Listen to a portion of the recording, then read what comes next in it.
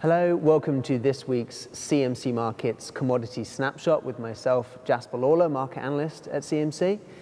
We're going to be having a look at wheat. Now, there's an interesting potential reversal pattern setting up in wheat charts, and that alongside with a slight seasonal shift that could be taking place on the commodity, we're going to look and see how that could play out.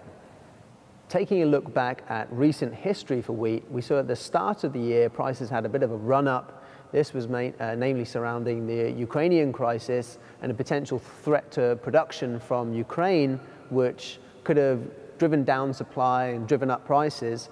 And that did temporarily on the, the threat of that happening. But as that never quite followed through, focus shifted over to the US, whereby planting was on the increase and actually it looked like there was going to be a bumper year of production. So prices rapidly came down, went through the lows of the year, and we've seen a, a huge drop in prices for wheat since the highs that were made around April, May time. So now we're moving into the season for winter wheat, and there's been a slight pickup in prices off the lows at around $4.60 per bushel. So let's have a look at the chart now and see how that sets us up. Now this is a daily chart for wheat and it shows that sharp decline that we've seen uh, since the May. But we have seemingly started to put in what could be a bit of a bottoming formation and potentially could be a head a inverse head and shoulders pattern. Now you can see I've labeled the, the left shoulder, head and right shoulder on here.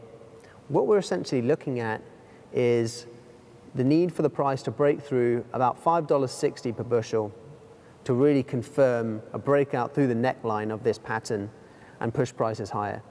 And what we really need to do to see that is further confirmation that this winter thaw is starting to affect production.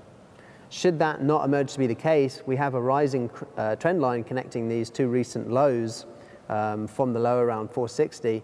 Should we break through this rising trend line, the chance of this inverse head and shoulders pattern coming off is significantly reduced and uh, what we could be looking at is just a continuation of this longer term trend whereby production's on the up and, and prices on the way down for, for wheat. Okay, that's it for this week's CMC Markets Commodity Snapshot. We were looking at wheat.